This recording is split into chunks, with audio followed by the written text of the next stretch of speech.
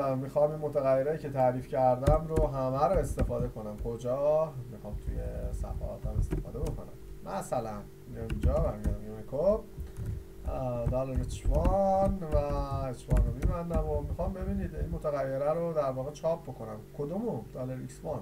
دلار رو می‌ذارم. control space بذارم. همه اینها رو می‌بینید. برام ردیف می‌کنه. این متغیره که اینجا هستن. و نوعشون رو هم مشخص می‌کنه. میگه اینت نیم استرینگ. فول نیم استرینگ تی فلات ایگریک اینت و زد اینت حالا کوکی این یه فایل و اینا چی هستن؟ در داشته باشید باشه اینا دیگه یه سری متغیر دیگه هم در کنار شما می‌ذارید که می‌تونید ازش استفاده کنید من میگم ایسفان رو برام چاپ کن اوکی؟ میام اینجا و رفرش می‌کنه.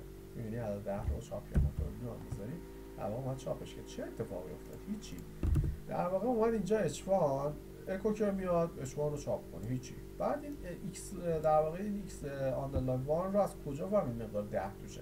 خب این x underline one در واقع متغیر خب وقتی مفسر میاد اینو تفسیر کنه میاد اینجا اکو رو می‌بینه می‌رسه به double quotation میگه خب اوکی من قرار هستش که توی tag ی به نام h1 یه متغیر دلار در واقع نمایش دهنده متغیر PHP هستش. دلار x underline 1 خب میاد می‌بینه خب این دلار x underline 1 اومده توی رم تشکیل شده. یعنی من هر بار که رفرش می‌کنم و میاد تفسیر می‌کنه آپاچی میاد از این بالا شروع می‌کنه به خوندن. از بالا در واقع از خود بلوک شروع می‌کنه.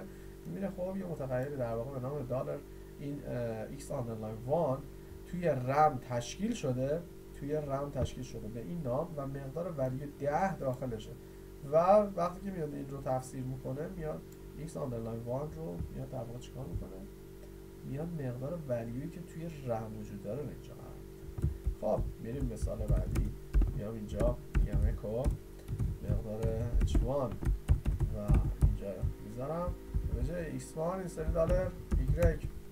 دوباره اکو دلار h1 و مقدار سمیکالن رو می‌ذارم. مقدار دلار زد اکو h1 و مقدار تی و اکو در نهایت حالا میگیم h1 h1 و دلار سمیکالن مقدار نیم دلارش رو می‌ذارید نه من به قصد دلارهای رو نذاشتم ببینید چه اتفاقی میفته میام اینجا. refresh. چی چاپ کرد؟ t. چی چاپ کرد؟ name ولی اینا رو درست چاپ کرد. در واقع توی x underline one دهه. توی ایگرک صده توی z دیویسته خب صد ده صد دیویست t name نه. توی t چی بوده؟ دوازده آنیم چرا t رو چاپ کرد؟ خب بخواه بگه شما دلارش رو نذاشتی. name هم همینطور. دلارش رو نذاشتی. وقتی بذاری دلارش رو یعنی در واقع داری به این اشاره می‌کنی چیه؟ متغیره. F5 رو می‌زنی می‌بینی؟ در واقع رفت از توی رم. خون اطلاعات رو با اون اینجا نمایش داد. دوباره اکو. مقدار h1 و به این شکل اینجا.